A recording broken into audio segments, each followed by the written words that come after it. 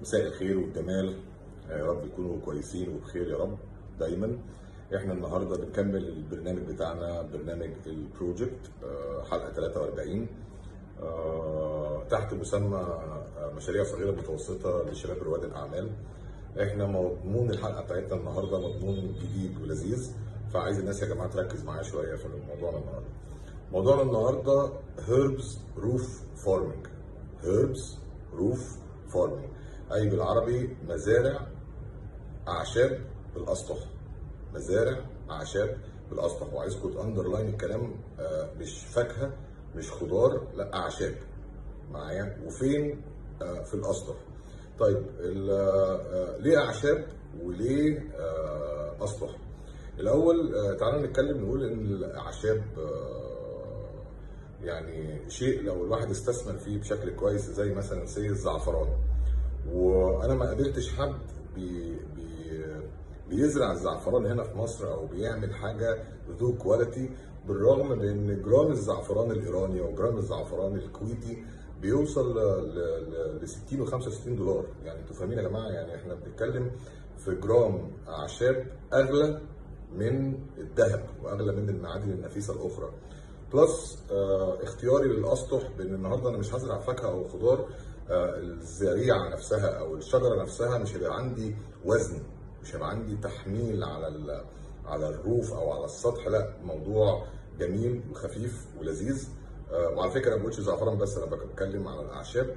في حاجات كتيرة في اليانسون في اختار اللي أنت عايزه. هتلاقي آه، ال herbs مجالات كتيرة. بس تعالى ناخد المثال بتاعنا زي مثلا الزعفران. آه، الموضوع ده ليه مزايا كتيرة. مش كوستي. يعني ما فيهوش تكلفة.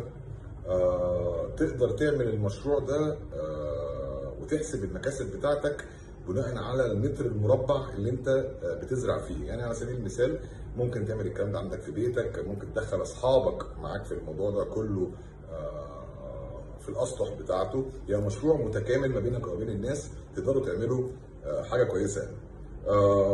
ما فيهوش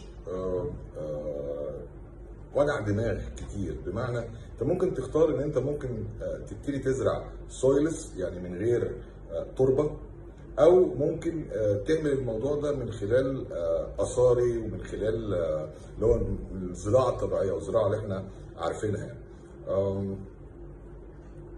اللي أنا عايز أقوله لحضراتكم إن أنا ما شفتش حد في مصر بعد دراسة وبعد بحث كبير بإن الموضوع ده الناس بتعمله للاكتفاء الذاتي. يعني أنا أعرف ناس في جناينهم وفي أسطحهم بيعملوا حاجات لتلبية احتياجاتهم بس حاجات اللي الطبيعية العادية مش business بيعملوا الكلام ده مثلا في الطماطم بيعملوا الكلام ده في الجرجير في الخس في الخيار وكذلك.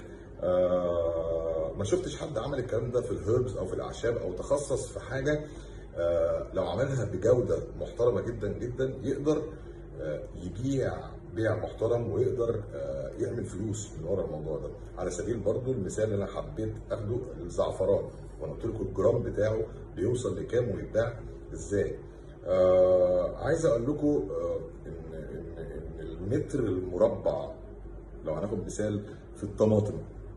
ما بين اللي موجود مثلا هتزرع على أرض في, في تربة زراعية وبين إن أنت تعمل الكلام ده مثلا آه، في سطح أو تعمل الكلام ده بقى green roofing systems انت بتتكلم ان انت ممكن الشجرة الواحدة تعمل around 20 كيلو. يعني الزريعه الواحدة بتعمل 20 كيلو. يعني الموضوع آه، كويس ومحترم. الحاجة اللي انت بس هتركز فيها ألا وهي الحتة بتاعت ال maintenance. ال maintenance اللي هي صيانة المكان اللي انت بتعملها.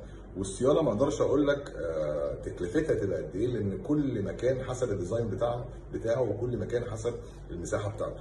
ف آه، يعني الموضوع أنا شايفه موضوع كويس جدا وموضوع لو الناس فكرت فيه بشكل branding وبشكل تسويقي وبشكل الناس تعمله في حتة ال business آه، أنا شايف الموضوع كويس. وأي تفاصيل يا جماعة حابب إن أنتم تتواصلوا معايا وأكون سعيد آه، يعني بتواصلكم وأشوفكم إن شاء الله في حاجة قريبة بإذن الله. تاني مع السلامة.